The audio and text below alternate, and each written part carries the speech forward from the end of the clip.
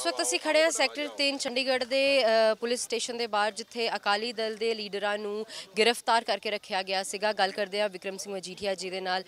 ਪਹਿਲੇ ਤਾਂ ਥੋੜੀ ਜੀ ਬਰੀਫ ਕਰ ਦਿਓ ਕਿ ਤੁਹਾਨੂੰ ਇੱਥੇ ਲੈ ਕੇ ਕਿਉਂ ਆਇਆ ਗਿਆ ਸੀਗਾ? ਸਾਨੂੰ ਤਾਂ ਜਿੰਨੀ ਵਾਰੀ ਉਹਨਾਂ ਨੇ ਝੂਠਾ ਬਜਟ ਵਿਧਾਨ ਸਭਾ 'ਚ ਪੇਸ਼ ਕਰਨਾ ਹੁੰਦਾ ਸਾਨੂੰ ਪੱਕਾ ਹੀ ਆ ਸੈਕਟਰ 3 ਦੇ ਥਾਣੇ 'ਚ ਅੰਦਰ ਦਿੰਦੇ ਉਹਨਾਂ 'ਚ ਲਾਸਟ ਟਾਈਮ ਵੀ ਅਸੀਂ ਕਿਸਾਨ ਖੁਦਕੁਸ਼ੀ ਪਰਿਵਾਰਾਂ ਨੂੰ ਲੈ ਕੇ ਉੱਥੇ ਗਏ ਸੀ ਐਫਐਮ ਸਾਹਿਬ ਕੋਲ। ਗਏ ਇਸ ਲਈ ਸੀ ਕਿਉਂਕਿ ਉਹਨਾਂ ਨਾਲ ਵਾਅਦੇ ਕੀਤੇ ਹੋਏ ਆ। ਦੈਟ ਜਿੰਨੇ ਵੀ ਕਿਸਾਨ ਖੁਦਕੁਸ਼ੀ ਪਰਿਵਾਰ ਹੈ, ਉਹਨਾਂ ਦਾ ਕਰਜ਼ਾ ਮਾਫ ਹੋਊਗਾ 10 ਲੱਖ ਮਦਦ ਮਿਲੂਗੀ, ਇੱਕ ਨੌਕਰੀ ਮਿਲੂਗੀ। ਹਾਲੇ ਤੱਕ ਤਾਂ ਇੱਕ ਨੂੰ ਨਹੀਂ ਮਿਲੀ। ਆ ਦਸੂਏ ਦਾ ਬੜਾ ਰੀਸੈਂਟ ਇਨਸੀਡੈਂਟ ਹੈ father and son have committed suicide ਇੱਕ ਕਿੱਲਾ ਦਾ ਜ਼ਮੀਨ ਸੁਸਾਇਟੀ ਦਾ ਕਰਜ਼ਾ ਮਾਫ ਨਹੀਂ ਹੋਇਆ, ਉਹਨੇ ਸਿੱਧੇ ਤੇ ਸਿੱਧੇ ਕਾਂਗਰਸ ਸਰਕਾਰ ਨੂੰ ਜ਼ਿੰਮੇਵਾਰ ਠਹਿਰਾਉਂਦਿਆਂ ਹੋਇਆਂ ਆਪ ਦੀ ਜਾਨ ਲੈ ਲਈ। ਜਦ ਪੰਜਾਬ ਦੇ ਹਾਲਾਤ ਹੋਣ, ਔਰ ਜੋ ਪੰਜਾਬ ਦੇ ਇਹਨਾਂ ਹਾਲਾਤਾਂ ਨੂੰ, ਚਾਹੇ ਮੁਲਾਜ਼ਮ ਹੈ, ਚਾਹੇ ਉਹ ਕਿਸਾਨ ਹੈ ਚਾਹੇ ਉਹ ਐਸਸੀ ਵਰਗ ਹੈ, ਚਾਹੇ ਉਹ ਨੌਜਵਾਨ ਹੈ, ਚਾਹੇ ਉਹ ਬਿਜਲੀ ਦੇ ਰੇਟ ਜਿਹੜੇ 10 ਰੁਪਏ ਤੋਂ ਵੱਧ ਗਏ ਆ ਉਹਨਾਂ ਦੀ ਗੱਲ ਅੰਦਰ ਕਰੇ। ਉਹਨਾਂ ਨੂੰ ਅਲਾਉਡ ਨਹੀਂ ਜਿਹੜਾ ਅੰਦਰ ਮੀਆਂ ਮਿੱਠੂ ਬਣ ਕੇ ਬੈਠੇ। ਸਰਕਾਰ ਦੀ ਝੂਠ ਦੇ ਹਾਂ ਨਾਲ ਹਾਂ ਮਿਲਾਵੇ, ਉਹ ਅੰਦਰ ਬਹਿ ਸਕਦਾ ਔਰ ਅਸੀਂ ਆਪ ਦੇ ਫਰਜ਼ ਦੀ ਅਦਾਇਕੀ ਕਿਉਂਕਿ ਪੰਜਾਬ ਦੇ ਲੋਕਾਂ ਦੀ ਇਹ ਵਿਧਾਨ ਸਭਾ ਹੈ, ਕਿਸੇ ਐਮਐਲਏ ਦਾ ਇਹ ਜੱਦੀ ਜਾਇਦਾਦ ਨਹੀਂ। ਪੰਜਾਬ ਦੀ ਵਿਧਾਨ ਸਭਾ ਜੇ ਪੰਜਾਬ ਦੇ ਮੁੱਦੇ ਗੂੰਜਣਗੇ ਪੰਜਾਬ ਦੇ ਲੋਕਾਂ ਨੂੰ ਜੇ ਮਸਲੇ ਹੱਲ ਹੋ ਜਾਣ, ਪੰਜਾਬ ਦੇ ਲੋਕਾਂ ਨੇ ਆਪ ਇਹਨਾਂ ਨੂੰ ਹੱਥਾਂ ਤੇ ਚੁੱਕਦੇ, ਚੁੱਕ ਕੇ ਫਿਰਨਾ।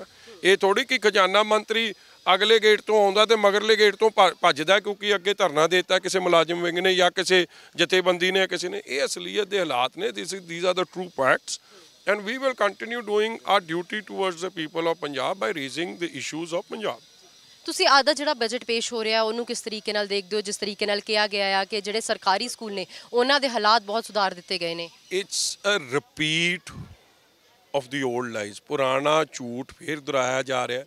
ਮੈਂ ਕੀ ਕਹਿ ਰਿਹਾ, ਬੀਬੀ ਜੀ, ਤੁਸੀਂ ਕੀ ਕਹਿ ਰਹੇ ਹੋ, ਕੋਈ ਕੀ ਕਹਿ ਰਿਹਾ, ਪੰਜਾਬ ਦੇ ਲੋਕ ਕੀ ਕਹਿ ਰਹੇ? ਔਰ controller of auditor general CAG the report ਕੀ ਕਹਿ ਰਹੀ ਹੈ? ਉਹ ਸਾਹਮਣੇ ਹੀ ਹੈ ਕਿ ਕਰਜ਼ੇ ਦੇ ਰੇਟ ਦੁੱਗਣੇ ਹੋ ਗਏ ਆ, ਕਰਜ਼ਾ ਦੁੱਗਣਾ ਹੋ ਗਿਆ।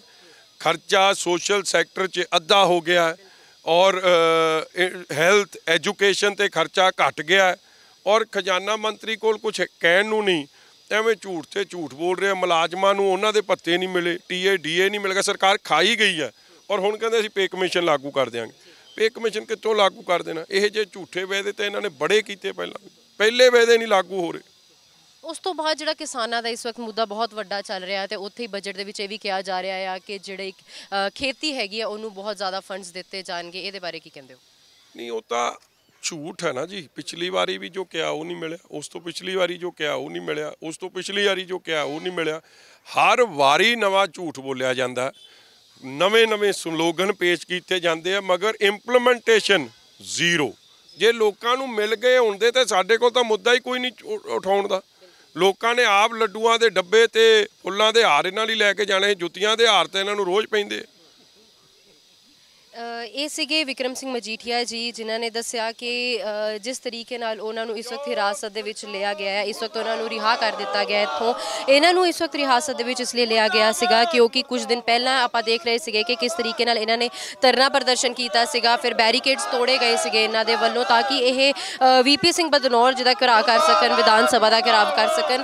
ਲੇਕਿਨ ਜਿਸ ਤਰੀਕੇ ਨਾਲ ਇਹਨਾਂ ਨੇ ਕੀਤਾ, ਇਹਨਾਂ ਦੇ ਕਾਰਨ ਇਹਨਾਂ ਨੂੰ ਹਿਰਾਸਤ ਦੇ ਵਿੱਚ ਲਿਆ ਗਿਆ ਸੀਗਾ। ਉੱਥੇ ਹੀ ਅੱਜ ਬਜਟ ਪੇਸ਼ ਕੀਤਾ ਜਾ ਰਿਹਾ ਹੈ। ਇਹਨਾਂ ਦੀ ਦਲੀਲ ਲਿਖ ਕੇ ਵੀ ਕਹੀ ਗਈ ਹੈ ਕਿ ਇਸ ਤਰੀਕੇ ਨਾਲ ਇਹਨਾਂ ਨੂੰ ਇੱਥੇ ਪਿਛਲੇ ਸਾਲ ਵੀ ਜਿਸ ਵਕਤ ਬਜਟ ਪੇਸ਼ ਕੀਤਾ ਜਾ ਰਿਹਾ ਸੀਗਾ, ਤਦ ਇਹਨਾਂ ਨੂੰ ਇੱਥੇ ਲੈ ਕੇ ਆਏ ਸੀਗੇ। ਤੇ ਇਸੇ ਤਰੀਕੇ ਨਾਲ ਅੱਜ ਵੀ ਇਹਨਾਂ ਨੂੰ ਇੱਥੇ ਹੀ ਲੈ ਕੇ ਆਇਆ ਗਿਆ ਕਿਉਂਕਿ ਬਜਟ ਪੇਸ਼ ਕੀਤਾ ਜਾ ਰਿਹਾ ਹੈ। ਅਕਾਲੀ ਦਲ ਵੱਲੋਂ ਬਜਟ ਪੇਸ਼ ਕੀਤਾ ਜਾ ਰਿਹਾ ਹੈ। ਕਾਂਗਰਸ ਵੱਲੋਂ ਮਨਪ੍ਰੀਤ ਸਿੰਘ ਬਾਦਲ ਜੀ ਵੱਲੋਂ ਬਜਟ ਪੇਸ਼ ਕੀਤਾ ਜਾ ਰਿਹਾ ਹੈ ਤਾਂ ਕਿ ਇਹ ਕੁਝ ਕਹਿ ਨਾ ਸਕਣ, ਉਹਨਾਂ ਦੇ ਖਿਲਾਫ ਖੜੇ ਨਾ ਹੋ ਸਕਣ। ਤਾਂ ਕਰਕੇ ਇਹਨਾਂ ਨੂੰ ਅੱਜ ਵੀ ਹਿਰਾਸਤ ਦੇ ਵਿੱਚ ਦੇ ਦਿੱਤਾ ਗਿਆ ਹੈਗਾ ਆ। ਕੈਮਰਾਮੈਨ ਰਾਜੇਸ਼ ਦੇ ਨਾਲ ਅਨੂਜਾ ਸ਼ਰਮਾ, ਦੇਸ਼ ਪ੍ਰਦੇਸ਼ ਟੀਵੀ, ਚੰਡੀਗੜ੍ਹ।